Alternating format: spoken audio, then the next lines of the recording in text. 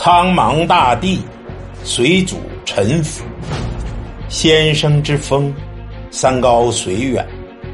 民国，一个最好的时代，也是最坏的时代，道不尽的风骨与情怀。民国人物列传，为您解读民国人物群像，由喜马拉雅独家出品。朋友们，大家好。今天我们讲的民国人物是林语堂。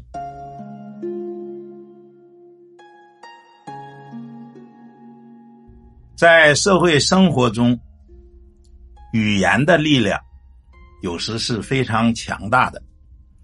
就我们中文而说呢，呃，有一部分是从古文传授而来的，包括啊，在传统文化中沉淀的一些俚语。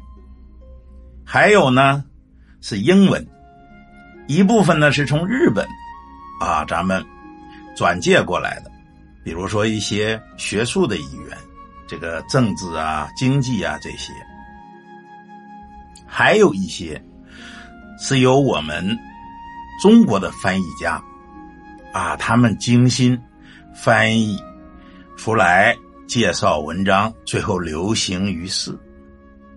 比如说，有一个英文单词叫 “humor”，最早呢译成中文的是王国维，他译成欧姆雅。后来又有很多的译法，比如说李清崖的“语妙”，陈望道的“油滑”，易培基的“幽骂”，唐同侯的“邪记”。但是，林语堂先生把 “humor” 译成了“幽默”。不管是从谐音的角度，还是意会的角度，这词儿太贴切了。于是，广为流传，渗透在社会生活各个方面。林语堂先生呢，也因此被叫了幽默大师。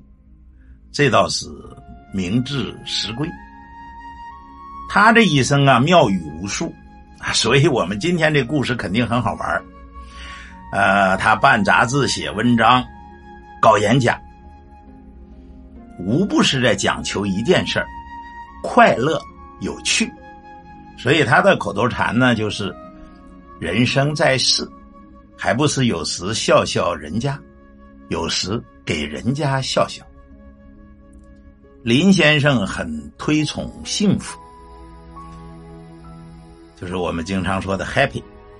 他把它呢简单的理解为：一，睡在自家的床上；二，吃父母做的饭菜；三，听爱人给你讲情话；四，跟小孩子做游戏。嗯，所以呢。你越品味，它这个简单的东西，真的是入心入肺。当然了，最脍炙人口的一个段子，那是一九六二年在巴西，面对着万人空巷，啊，太多人崇拜他了。林语堂演讲，他说：“世界大同的理想生活，就是住在英国的乡村。”屋里安装着美国的水电煤气，有个中国厨子，娶个日本太太，当然喽，再找个法国情人。民国那会儿啊，很多男人不适应一夫一妻制，啊，尤其是传统的那些男人。顾鸿明呢，就比喻为，哪有一个茶碗配几个茶壶？那都是一个茶壶要配几个茶碗，啊！后来面对着轰然叫好，林语堂呢引用了《金瓶梅》里潘金莲的一句话：“哪有一只碗里放了两只羹勺，还不是冲撞的吗？”细细品来，令人哑然失笑。林先生还解释，为什么文人之间相骂不休，绝少有人去骂军阀。他说：“这就与向来妓女骂妓女而不敢骂嫖客是一样的道理。”林语堂嗜烟如命，咱们常说的一句话：“饭后一支烟，赛过活神仙。”据说就是他发明说出来的。有一回啊，他和初次见面的钱穆聊天啊，两个手指头夹着香烟灰，越来越长，啊，越来越长。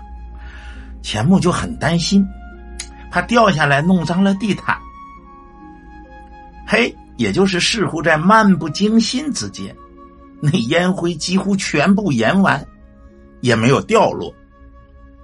钱穆通过这件事感触很深。他说：“我行我素，只是林语堂的表象，其内心深处其实自有分寸。”他认为，语堂之幽默，在我看来，尚不专在其仅抽烟卷这一面，乃更有其烟灰不落之一面。林先生呢，在一席话啊，曾经写道：“没有幽默滋润的国民，其文化必日趋虚伪，生活必日趋欺诈，思想必日趋迂腐，文学必日趋干枯，而人的心灵必日趋顽固。”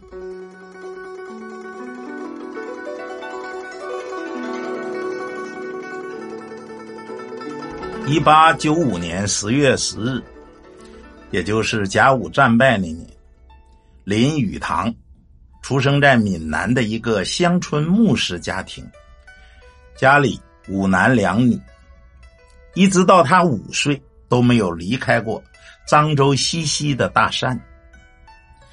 那个时候呢，林语堂有很多的幻想，比如说他想长大后开一个辩论的商店。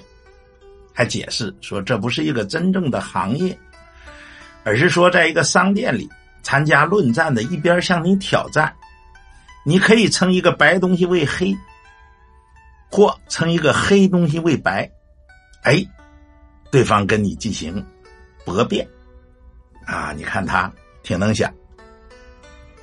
由于祖母呢是位基督教徒。父亲林志成二十四岁曾进入神学院学习，在当地颇有影响。有一次，税吏就是税务官员欺负卖柴的人，他仗义直言，把官司打到县里，愣把税额给降了下来。而且呢，他还有幽默细胞。啊，有一天下午布道，男人们打瞌睡，啊，女人们在聊天儿。这个时候，林牧师呢就从讲台上弯下身子说：“诸位姐妹，如果声音不这么大，这边的兄弟们还可以睡得更安稳一些。”小时候的雨堂很淘气，曾把大嫂身后的凳子偷偷抽走，差点造成了流产。还有一回呢，他跟二姐争执，眼见吃亏。他就在泥地里打了个滚儿，然后站起来说：“你不负责洗衣服吗？现在可以干活去了。”后来呢，因为家里没钱，美丽聪慧的二姐没有能圆自己的读书梦。出嫁前给他留了四毛钱，嘱咐他一定要做一个有用有名气的人。不久。怀有八月身孕的二姐患鼠疫去世，林语堂非常非常痛苦。后来他一直觉得自己都是在替二姐读书和努力。在厦门鼓浪屿读书的时候，林语堂发现外国人有三类：一类呢是传教士，穿着清洁无瑕的白衣；一类是水手，他们喝醉酒后在街上。乱叫狂歌，还有一类是商人，坐着世人大轿，对中国孩子随意的拳打脚踢。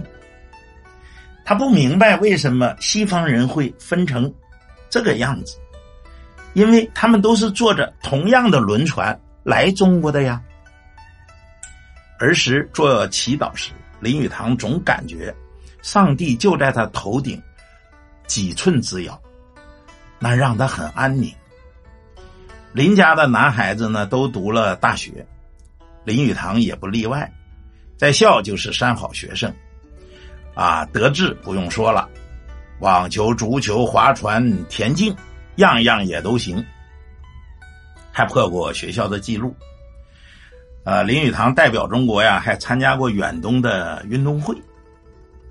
哎，但是有意思，无论是在厦门的寻源书院，还是在上海的圣约翰大学，他都是以第二名毕业的。呃，他倒自己觉得没什么，他说：“嗨。”不管做什么事当第一不一定总是好的。毕业后呢，林语堂是被清华请去做了英文的教员。有一天呢，听学生讲到了孟姜女哭长城，哎，他一无所知，也不好意思问，就悄悄跑到琉璃厂补课去了。好在清华那时候啊，文史方面大师云集。所以学学问呢很方便。哎呀，他觉得这差距太大，呃，他就读书啊，最喜欢是哪本书呢？《红楼梦》。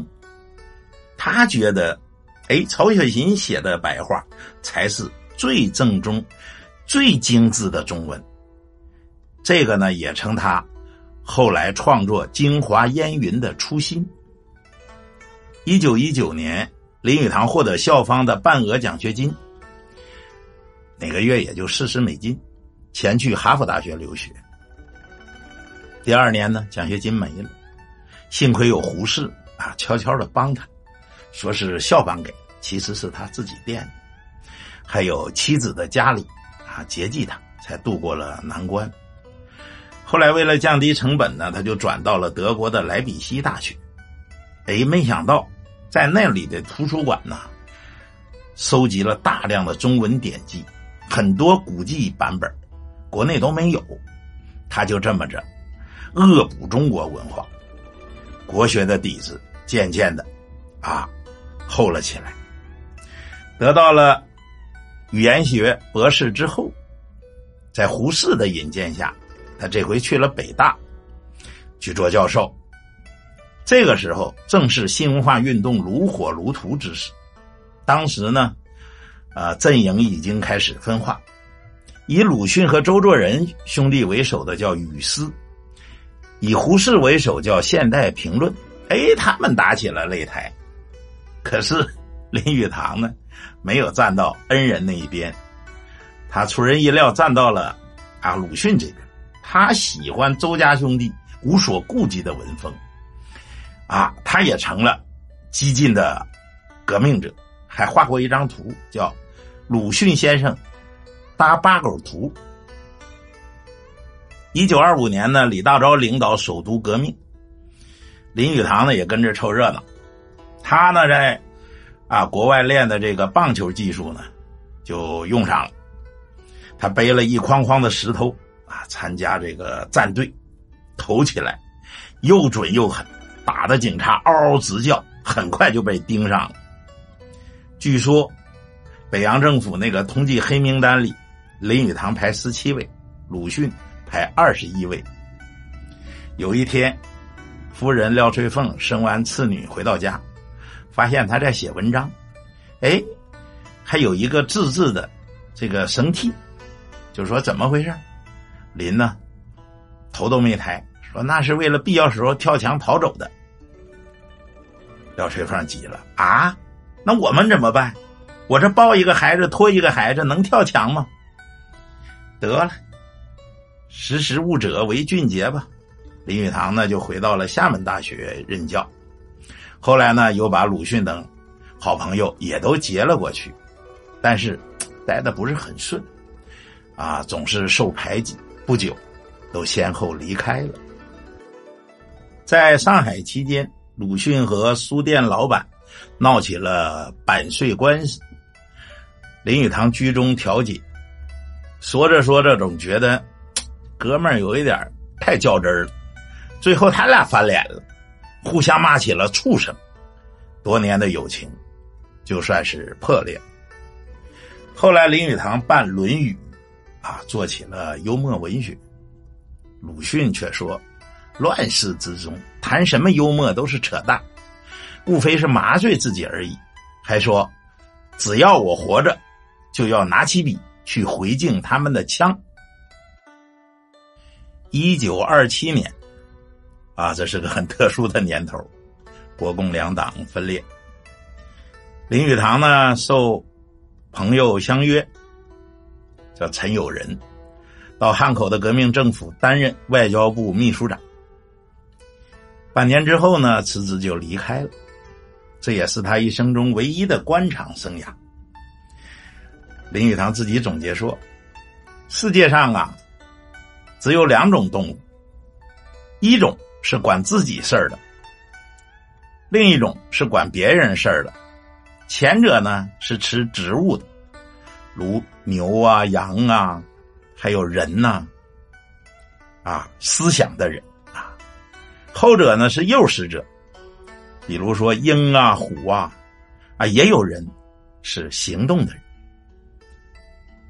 林呢自己认为自己是吃植物的，啊，只能做一个思想的人，所以决定再也不做政治家了。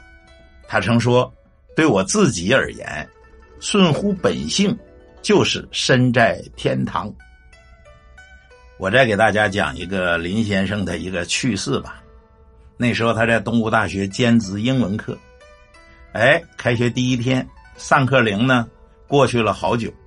他才进来，他拿了一个鼓鼓囊囊的皮包，然后微笑打招呼。打开皮包，里边啥呢？满满的带壳花生。啊，他就开始说：“大家来来分分分分，很热情。”一边分一边用流利的英语讲，说：“啊，吃花生必须吃带壳的，一切味道和风趣全在于剥壳。”这个剥壳越有劲儿，花生米就越有味道。然后还话锋一转，花生米呢也叫长寿果。诸君今天第一次上课，请吃我的长生果，祝诸君长生不老。以后呢，我上课不点名，愿诸君吃了长生果更有长性子，不要逃学，则幸甚幸甚，三生有幸。学生们哪见过这么有趣的老师啊？高兴坏了！啊，这林先生还说：“来，请吃，请吃。”这时候教室里是一片的剥花生壳的声音。等到下了课，林语堂夹起皮包飘然而去。此后每逢他来上课，那肯定座无虚席。林语堂还从不举行任何形式的考试，采取的是相面打分他呢记忆力极强，几堂课下来就能记住全班同学的名字，啊，随时点指学生回答问题，所以呢每个学生的特点，啊能力和程度他都了然于心。到了学期结束前，林语堂坐在讲台上开始点名，看到啊站起来的学生，就给写了个分数，哎。有些没把握的地方，再问上几句。结果呢，学生们都觉得林先生给的分数比那个英卷考试还要公正。一九三五年四十岁生日时，林语堂做了一首寿诗：“而今行年随四十，尚喜未伦士大夫。一点痛心犹未明，半丝白鬓尚且无。”